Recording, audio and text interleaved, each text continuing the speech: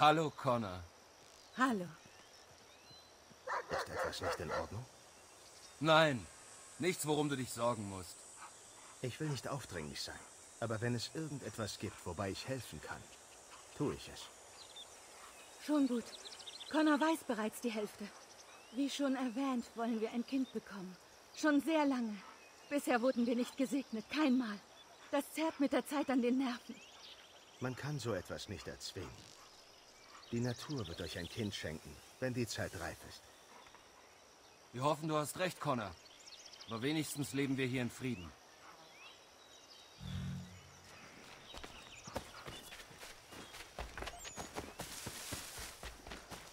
Ich weiß, er kann es, aber ich sorge mich doch.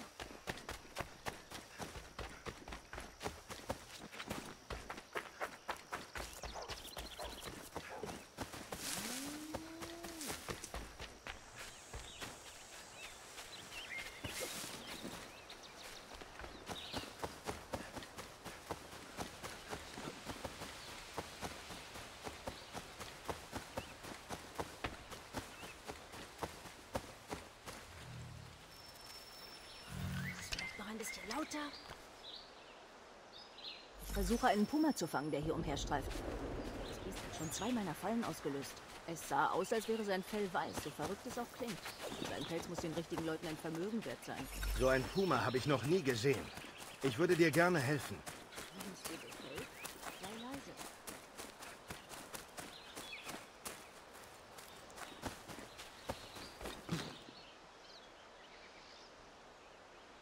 Hackelied wäre schon.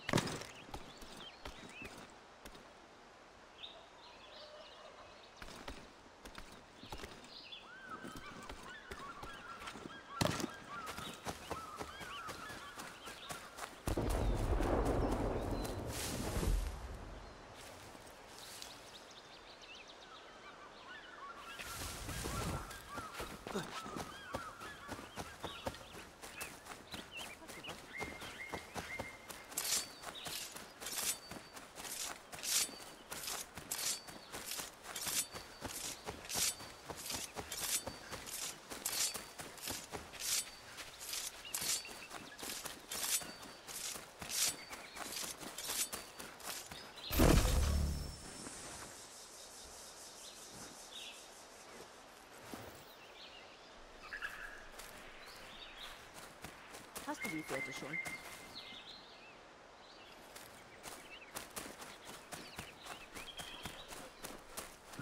Sieh nur, wie groß die Kratzspuren sind. Schieß bloß nicht daneben.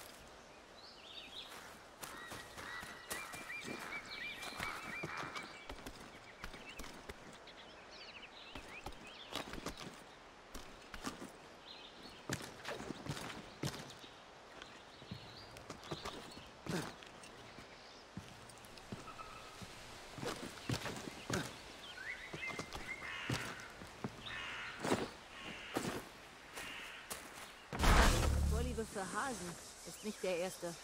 Frisch. Er ist nicht weit. Da ist er. Bessere Chance bekommen wir nicht. Na los, Connor, sonst sehen wir ihn nie wieder. Komm, ist nur ein Schuss. Beeilung.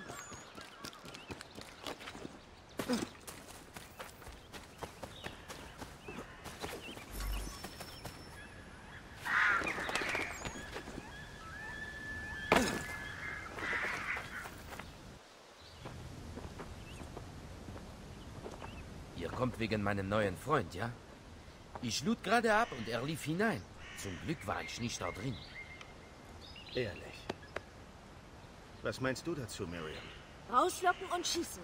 Norris hält sich zurück, einer von uns geht rein und lockt ihn raus. Der andere wartet hier und schießt. Ich werde reingehen.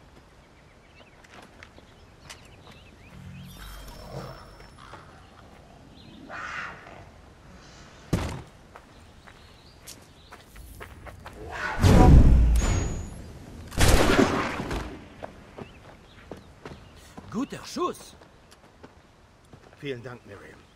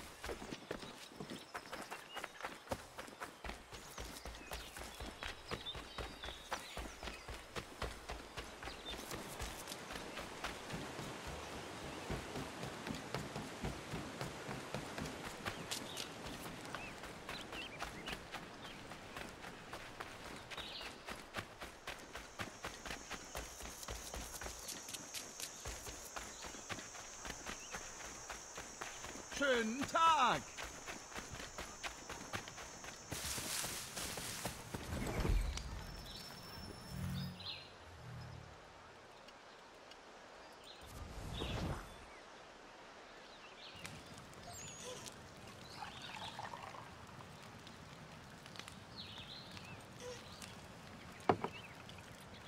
Hallo, Sir.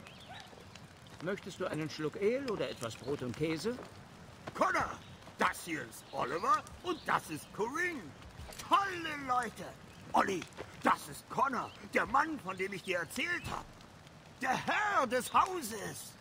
Wir waren auf der Durchreise und trafen eure Pächter. Sie hatten Durst und wir hatten ein paar Fässer dabei und... Ich bin kein Herr. Und das sind meine Freunde, keine Pächter. Was macht ihr auf der Straße mit einem Karren voller Ale? Wir waren Gastwirte, bis der König unsere Taverne einfach für das Militär beschlagnahmte und uns auf die Straße setzte. Hey, ihr solltet hier siedeln. Hier fehlt eine Taverne. Sehr gute Idee. Würden wir. Doch ohne das Gasthaus selbst haben wir keine Wahl. Und eins zu bauen ist teuer. Wir haben sicher Bedarf für etwas in der Art. Ich spreche mit meinen Freunden an der Mühle und sehe, ob wir nicht selbst eins bauen können. Wenn wir das arrangieren, würdet ihr dann erwägen, hier zu bleiben? Natürlich, Olli. Wir sind wieder Gastwirte.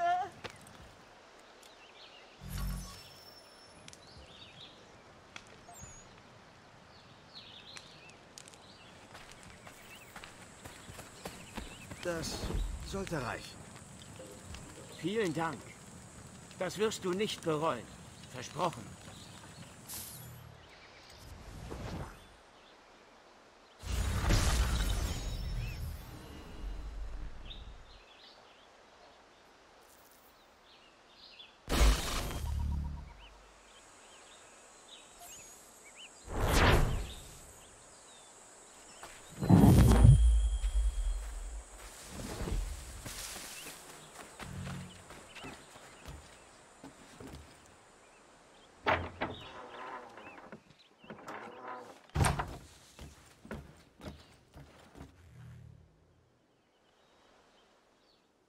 Köstlich, Liebes.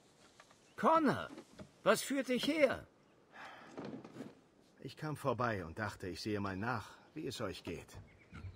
Wie nett von dir. Nun, mein Junge, es geht uns sehr gut. Zwischen diesen Nachbarn? Die Matrosen kommen und gehen. Ganz zu schweigen von den Reisenden. Unsere Betten sind immer belegt und das Bier geht gut weg. Ich bin froh, dass bei euch alles so gut klappt. Sind wir auch, Connor. Ich müsste lügen, wenn ich sagte, wir waren nicht besorgt, als wir das alte Gasthaus verloren. Doch Gottes Wege sind unergründlich.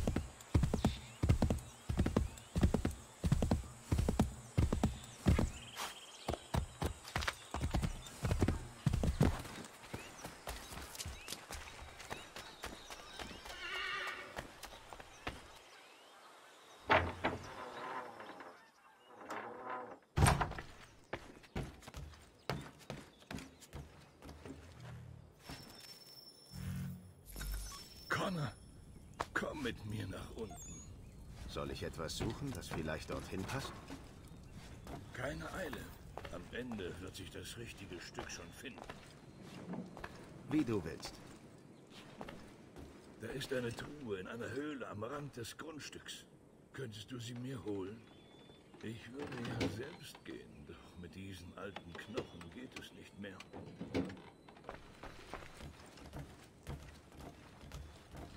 Norris mit dir. Ein großer Fels blockiert den Höhleneingang. Du wirst ihn irgendwie beiseite räumen müssen.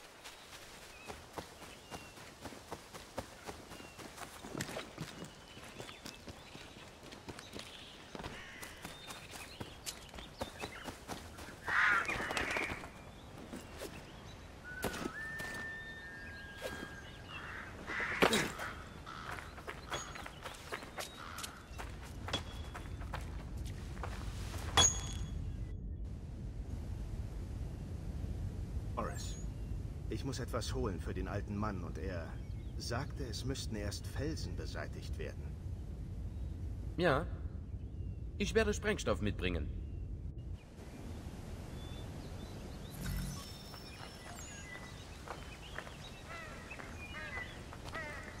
Miriam ist interessant. Sicher keine von den üblichen Kolonistinnen. Gute Schütze. Sie hat den Puma erlegt. Und tüchtig. Hat sie... Keinen, von dem ich wüsste. Ich habe noch nie eine Frau gesehen wie sie. Ich würde sie gern besser kennen. Dann rede doch einfach mit ihr. Ich probiere es. Hey, Vorsicht! Das Pulver darf nicht nass werden.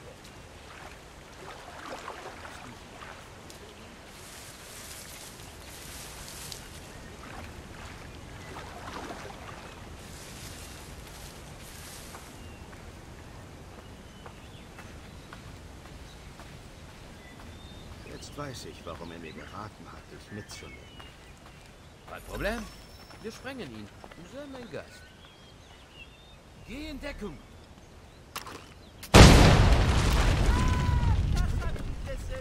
Vielen Dank. Bienvenue. Sieht nicht sicher aus. Pass gut auf.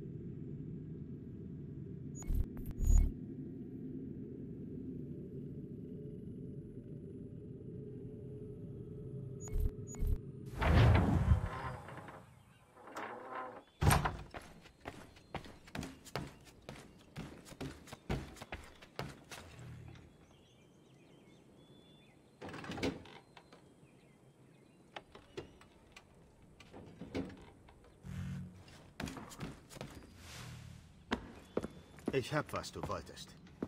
Aber ich muss wissen, wer es dorthin gebracht hat und wozu. Ich war's. Ich brachte es dorthin, wo nur ich es erreiche. Doch das ist sehr lange her.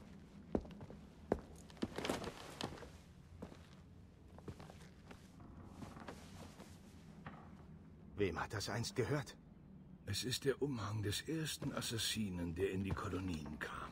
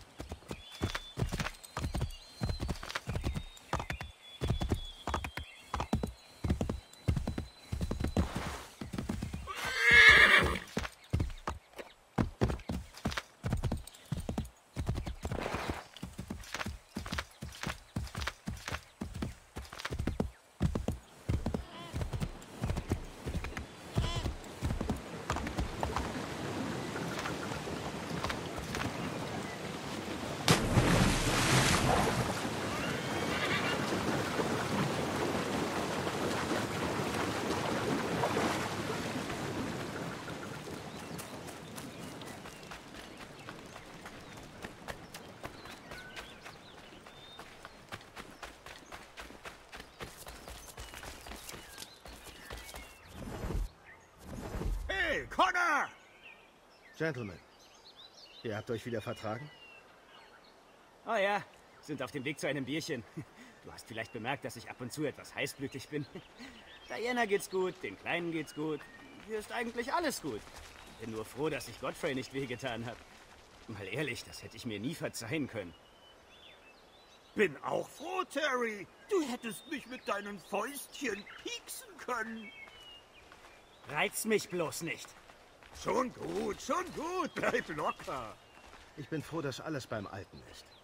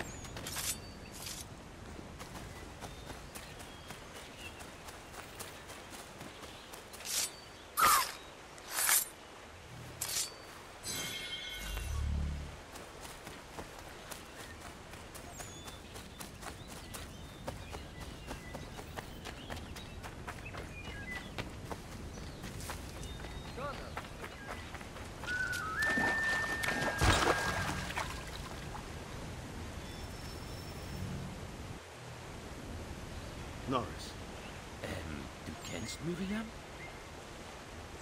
natürlich. Was gefällt ihr? Ich möchte ihr etwas schenken.